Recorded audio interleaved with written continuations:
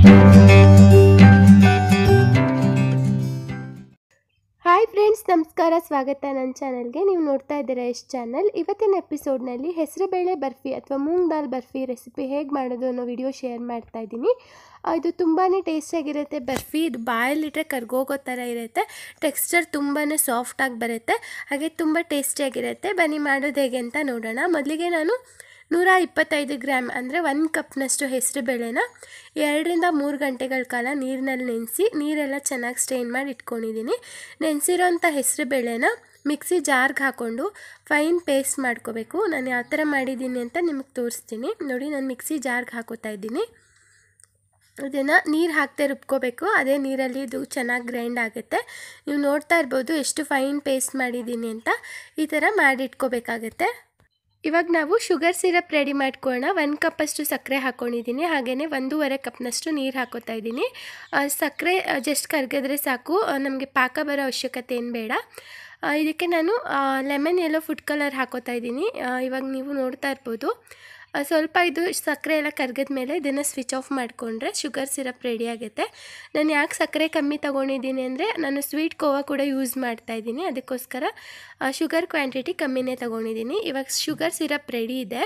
ಇವಾಗ ಬಾಣಲೆ ಬಿಸಿಗೆ ಇಟ್ಕೊಂಡಿದ್ದೀನಿ ಇದಕ್ಕೆ ತುಪ್ಪ ಹಾಕ್ಕೊಳ್ಳೋಣ ನಾನು ಒಂದು ಕಪ್ಪು ಹೆಸರು ಬೇಳೆಗೆ ಅರ್ಧ ಕಪ್ನಷ್ಟು ತುಪ್ಪ ತೊಗೊಂಡಿದ್ದೀನಿ. ಬೇಕಿದ್ರೆ ಮುಕ್ಕಾಲು ಕಪ್ ಕೂಡ ಹಾಕೋಬೋದು.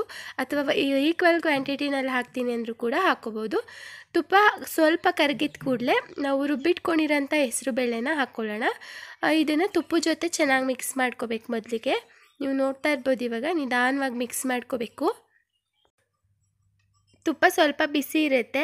ನೋಡ್ಕೊಂಡು ನಿಧಾನಕ್ಕೆ ಮಿಕ್ಸ್ ಮಾಡ್ಕೊಳ್ಳಿ. ಇದು ಸ್ವೀಟ್ ಆಗೋವರೆಗೂ ಫ್ಲೇಮ್ ಏನಿದ್ರು ಲೋ ಫ್ಲೇಮಲ್ಲೇ ಇಟ್ಕೋಬೇಕು. ಹೈ ಮಾಡೋಕ್ಕೆ ಹೋಗಬೇಡಿ. ಇದು ಹೆಸರು ಬೇಳೆ ಎಲ್ಲ ಒಂಥರ ಬರ್ನ್ ಆಗೋ ಥರ ಆಗೋಗುತ್ತೆ.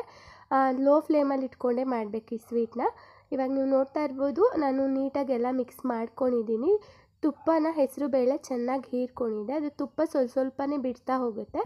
ಆವಾಗ ಅಲ್ಲಿವರೆಗೂ ನಾವು ಇದನ್ನು ಮಿಕ್ಸ್ ಮಾಡ್ಕೋಬೇಕಾಗುತ್ತೆ. ನೋಡಿ ಲೋ ಫ್ಲೇಮಲ್ಲಿ ಇಟ್ಕೊಂಡು ಈ ಥರ ಮಾಡ್ತಾ ಹೋಗಿ. ತುಪ್ಪ ಚೆನ್ನಾಗಿ ಹೀರ್ಕೊಂಡಿದೆ ಇವಾಗ. ಇದು ಸೈಜ್ ದಪ್ಪ ಇದೆ, ಇವಾಗೆಲ್ಲ ಉದ್ರುದ್ರಾಗ ಆಗುತ್ತೆ, ನೀವು ನೋಡ್ಬೋದು. ಈ ಥರ ಕನ್ಸಿಸ್ಟೆನ್ಸಿಗೆ ಬರುತ್ತೆ. ಒಂದು ಸ್ವಲ್ಪನೂ ಕೈ ಬಿಡ್ದೇ ತಿರುಗಿಸ್ತಾನೆ ಇರಬೇಕು. Almost twenty to twenty five minutes ತೊಗೊಳುತ್ತೆ ಇದಾಗೋದಕ್ಕೆ. ಇವಾಗ ನೋಡಿ ಸ್ವಲ್ಪ ಸ್ವಲ್ಪನೇ ತುಪ್ಪ ಬಿಡ್ತಾ ಇದೆ ಇವಾಗ, ನೀವು ನೋಡ್ತಾ ಇರ್ಬೋದು. ಆಲ್ಮೋಸ್ಟ್ ಎಲ್ಲ ಬಿಡ್ತಾ ಬರ್ತಾ ಇದೆ. ಹಾಗೆಯೇ ಹೆಸರುಬೇಳೆ ಕನ್ಸಿಸ್ಟೆನ್ಸಿ ಕೂಡ ತೆಳುವಾಗ್ತಾ ಬರ್ತಾ ಇದೆ. ಸ್ವಲ್ಪ ಪ್ಯಾನಿಂದ ತುಪ್ಪ ಸಪ್ರೇಟ್ ಆಗ್ತಾ ಇದೆ ಇವಾಗ. ಈ ಟೈಮ್ನಲ್ಲಿ ಕೋವಾ ಹಾಕೋತಾ ಇದ್ದೀನಿ. ಒಂದು ಕಪ್ನಷ್ಟೇ ಕೋವಾ ತೊಗೊಂಡಿದ್ದೀನಿ. ನಾನು ಹೆಸರುಬೇಳೆ ಯಾವ ಕಪ್ನಲ್ಲಿ ತೊಗೊಂಡಿದ್ದೆ ಅದರಲ್ಲೇ ಮೆಷರ್ ಮಾಡ್ಕೊಂಡಿದ್ದೀನಿ. ಎಲ್ಲನೂ ಸೇಮ್ ಕ್ವಾಂಟಿಟಿನಲ್ಲಿ ತೊಗೋತಾ ಇದ್ದೀನಿ. ಒಂದು ಕಪ್ ಹಾಕ್ಕೊಂಡು ಇದ್ರ ಜೊತೆಗೆ ಚೆನ್ನಾಗಿ ಮಿಕ್ಸ್ ಮಾಡ್ಕೋತಾ ಇದ್ದೀನಿ. ಮನೆಯಲ್ಲೇ ಮಾಡಿರೋ ಕೋವಾ ಇದ್ದರೆ ಅದನ್ನು ಕೂಡ ಹಾಕೋಬೋದು ನೀವು. ನೋಡಿ ಹೆಸರುಬೇಳೆ ಜೊತೆ ಕೋವಾನ ನೀಟಾಗಿ ಮಿಕ್ಸ್ ಮಾಡ್ಕೊಂಡಿದ್ದೀನಿ. ಸೊ ಈ ಟೈಮ್ನಲ್ಲಿ ಇದಕ್ಕೆ ಶುಗರ್ ಸಿರಪ್ ನಾವು ಮಾಡಿಟ್ಕೊಂಡಿದ್ವಲ್ಲ, ಅದನ್ನು ಫುಲ್ಲು ಹಾಕೋತಾ ಇದ್ದೀನಿ. ಶುಗರ್ ಸಿರಪ್ ಹಾಕಿದ್ಮೇಲೆ ಇದು ಬೇಗನೆ ಗಟ್ಟಿಯಾಗೋಗ್ಬಿಡುತ್ತೆ. ಶುಗರ್ ಸಿರಪ್ಪು ಕೋವಾ ಎಲ್ಲ ನೀಟಾಗಿ ಮಿಕ್ಸ್ ಆಗೋ ಥರ ಒಂದೇ ಸಾರಿ ಮಿಕ್ಸ್ ಮಾಡ್ಕೊಳ್ಳಿ. ನೆನಪಿರಲಿ ಫ್ಲೇಮ್ ಯಾವತ್ತೂ ಹೈ ಮಾಡಬೇಡಿ ಲೋ ಅಲ್ಲಿ ಇಟ್ಕೊಂಡೇ ಮಾಡಿ. ನೋಡಿ ಸ್ವೀಟ್ ಟೆಕ್ಸ್ಚರ್ ಬರ್ತಾ ಇದೆ. ಸೈಡಲ್ಲೆಲ್ಲ ತುಪ್ಪ ಬಿಟ್ಕೋತಾ ಇದೆ, ನೀವೇ ನೋಡ್ಬೋದು. ಈ ಥರ ಕನ್ಸಿಸ್ಟೆನ್ಸಿಗೆ ಬರುತ್ತೆ. ಇದನ್ನು ಲೋ ಫ್ಲೇಮಲ್ಲಿ ಇಟ್ಕೊಂಡು ಮಾಡಿದ್ರೆ ಬೇಗನೆ ಗಟ್ಟಿಯಾಗೋಗುತ್ತೆ. ನೋಡಿ ಕನ್ಸಿಸ್ಟೆನ್ಸಿ ತಿಕ್ಕಾಗ್ತಾ ಇದೆ. ಏಲಕ್ಕಿ ಪೌಡರ್ ಕೂಡ ಹಾಕ್ಕೊಂಡಿದ್ದೀನಿ ನಿಮ್ಗೆ ಕಾಣ್ತಾ ಇದೆ ಅನ್ಕೋತೀನಿ. ಇದನ್ನು ಚೆನ್ನಾಗಿ ಮಿಕ್ಸ್ ಮಾಡ್ಕೊಳ್ಳೋಣ. ಸ್ವಲ್ಪನೂ ಗಂಟಿಲ್ಲದೆ ಇರೋ ಥರ ನೀವು ತಿರುಗಿಸ್ಕೋಬೇಕಾಗತ್ತೆ. ಶುಗರ್ ಸಿರಪ್ ಅದು ಬೇಗ ಗಟ್ಟಿ ಆಗೋ ಕಾರಣ ಅದು ಲೋ ಫ್ಲೇಮಲ್ಲಿ ಇಟ್ಕೊಂಡು ತಿರುಗಿಸ್ತಾ ಇದ್ದರೆ ಕನ್ಸಿಸ್ಟೆನ್ಸಿ ಗಟ್ಟಿ ಬರುತ್ತೆ. ಹಾಗಂತ ತುಂಬ ಗಟ್ಟಿ ಮಾಡಬಾರ್ದು. ಬರ್ಫಿ ಟೆಕ್ಸ್ಚರ್ ಹಾರ್ಡ್ ಆಗೋಗುತ್ತೆ ಸ್ವಲ್ಪ ಅದು ಕನ್ಸಿಸ್ಟೆನ್ಸಿ ತಿಕ್ಕಾಗ್ತಾ ಇದೆ ಅನ್ನೋವಾಗ ಇದನ್ನು ಸ್ವಿಚ್ ಆಫ್ ಮಾಡ್ಕೋಬೇಕು ಫ್ಲೇಮ್ನ ನೋಡ್ತಾ ಇರ್ಬೋದು ನೀವು ಎಷ್ಟು ಗಟ್ಟಿ ಆಗ್ತಾ ಇದೆ ಅಂತ. ನಾವೆಷ್ಟು ಅದನ್ನು ಚೆನ್ನಾಗಿ ತಿರುಗಿಸ್ತೀವೋ, ಬರ್ಫಿ ಅಷ್ಟೇ ಚೆನ್ನಾಗಿ ಬರುತ್ತೆ ಅಂತ ಹೇಳ್ಬೋದು. ನೋಡಿ, ಇವಾಗ ಪ್ಯಾನ್ ಎಲ್ಲ ಸಪ್ರೇಟ್ ಆಗ್ತಾ ಇದೆ. ಇವಾಗ ಬರ್ಫಿ ಕರೆಕ್ಟಾಗಿ ಹದವಾಗಿ ರೆಡಿಯಾಗಿದೆ ಅಂತ ಹೇಳ್ಬೋದು. ಇನ್ನೂ ಒಂದು ನಿಮಿಷಗಳ ಕಾಲ ಇದನ್ನು ನಾನು ತಿರುಗಿಸ್ಕೊತಾ ಇದ್ದೀನಿ. ಇವಾಗ ಕಂಪ್ಲೀಟಾಗಿ ಪ್ಯಾನ್ ಬಿಟ್ಟಿದೆ. ಇವಾಗ ನಾನು ಸ್ವಿಚ್ ಆಫ್ ಮಾಡ್ಕೊಂಡಿದ್ದೀನಿ ಫ್ಲೇಮ್ನ ಇವಾಗ ಒಂದು ಪ್ಲೇಟ್ ತಗೊಂಡಿದ್ದೀನಿ. ಇದಕ್ಕೆ ತುಪ್ಪ ಸವರ್ಕೋತಾ ಇದ್ದೀನಿ. ಅಥವಾ ಟ್ರೇ ಇದೆ ಅಂದರೆ ಅದು ಕೂಡ ಹಾಕೋಬೋದು ನೀವು. ತುಪ್ಪ ಸವರ್ಕೊಂಡು ಇದ್ರ ಮೇಲೆ ನಾವು ಬರ್ಫಿನ ಹಾಕ್ಕೊಳ್ಳೋಣ. ನೋಡಿ, ಈ ಥರ ಬರ್ಫಿ ಹಾಕೋಬೇಕು ಇದ್ರ ಮೇಲೆ. ಹಾಗೆಯೇ ನಿಮಗೆ ಅಂಟುತ್ತಾ ಇದೆ ಅನ್ನೋದಾದರೆ ಮೇಲೊಂದು ಸ್ಪೂನ್ ತುಪ್ಪ ಹಾಕ್ಕೊಂಡು ಇದನ್ನು ಚೆನ್ನಾಗಿ ಮಾಡ್ಕೊಳ್ಳಿ. ಮೇಲೆಲ್ಲ ಒಂದೇ ಫ್ಲ್ಯಾಟ್ ಸರ್ಫೇಸ್ ಬರಬೇಕು. ಆ ಥರ ಮಾಡ್ಕೊಳ್ಳಿ.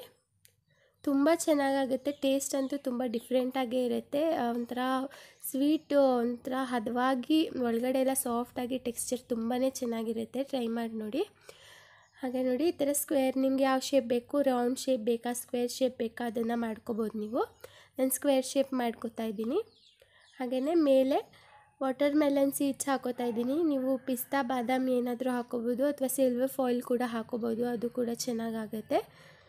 ಸಿಲ್ವರ್ ಫಾಯಿಲ್ ಹಾಕಿದ್ರಂತೂ ಬೇಕ್ರಿ ಸ್ಟೈಲಲ್ಲಿ ಹೇಗಿರುತ್ತೋ ಅದೇ ಥರ ಇರುತ್ತೆ. ಸೊ, ಇದನ್ನು ಸ್ವಲ್ಪ ಪ್ರೆಸ್ ಮಾಡ್ಕೊಂಡಿದ್ದೀನಿ. ಚಾಕುಗೆ ಸ್ವಲ್ಪ ತುಪ್ಪ ಸವರ್ಕೊಂಡಿದ್ದೀನಿ. ಇವಾಗ ಜಸ್ಟ್ ಮಾರ್ಕ್ ಮಾಡ್ಕೋತಾ ಇದ್ದೀನಿ ಅಷ್ಟೇ ನಾನು. ನೀವು ನೋಡ್ತಾ ಇರ್ಬೋದು.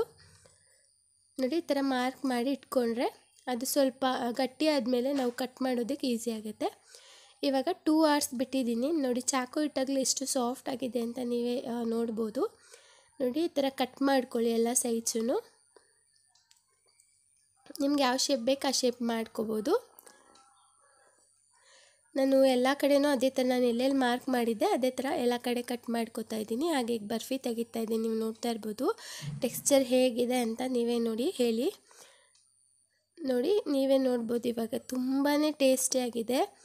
ಸಾಫ್ಟಾಗಿ ಬೇಕ್ರಿನಲ್ಲಿ ಯಾವ ಥರ ಇರುತ್ತೋ ಅದಕ್ಕಿಂತ ಸಾಫ್ಟಾಗಿ, ಹೈಜಿನಿಕ್ಕಾಗಿ ಮಾಡಿರೋದು ಅಂತ ಹೇಳ್ಬೋದು.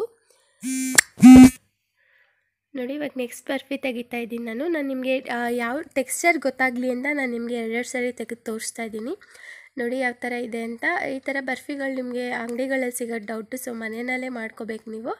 ತುಂಬಾ ಟೇಸ್ಟಿಯಾಗಿ ಬರುತ್ತೆ. ಟ್ರೈ ಮಾಡಿ ನೋಡಿ. ಈ ವಿಡಿಯೋ ನಿಮ್ಗೆ ಇಷ್ಟ ಆಗಿದ್ರೆ ಲೈಕ್ ಮಾಡಿ, ಶೇರ್ ಮಾಡಿ. ನೀವೇನು ನನ್ನ ಚಾನಲ್ ಸಬ್ಸ್ಕ್ರೈಬ್ ಆಗಿಲ್ಲ ಅಂದರೆ ದಯವಿಟ್ಟು ಚಾನಲ್ ಸಬ್ಸ್ಕ್ರೈಬ್ ಮಾಡಿ. ನಿಮ್ಮ ಅನಿಸಿಕೆ ಅಭಿಪ್ರಾಯಗಳನ್ನ ಕಮೆಂಟ್ ಸೆಕ್ಷನಲ್ಲಿ ತಿಳಿಸಿ. ಆ್ಯಂಡ್ ಥ್ಯಾಂಕ್ಸ್ ಫಾರ್ ವಾಚಿಂಗ್ ನಮಸ್ಕಾರ.